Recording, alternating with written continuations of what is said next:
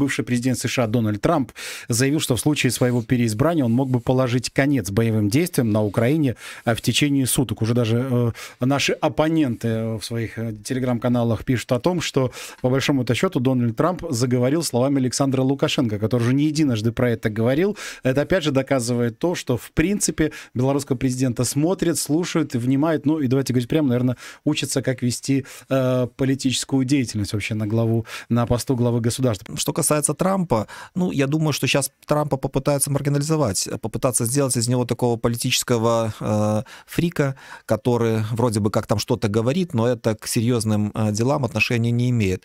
Э, но за Трамп тоже не прост, за ним и поддержка со стороны части бизнеса американского, э, со стороны таких крупных экономических субъектов.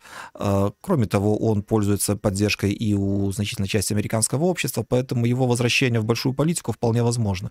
И я думаю, думаю, что с Трампом будут очень непростые э, переговоры и очень непростые отношения, но тем не менее вполне возможно, что они могут стать более конструктивными. Он договороспособен. Mm. С ним э, можно договариваться, потому что он э, прагматик. Как бизнесмен он привык э, рассчитывать издержки и приобретения.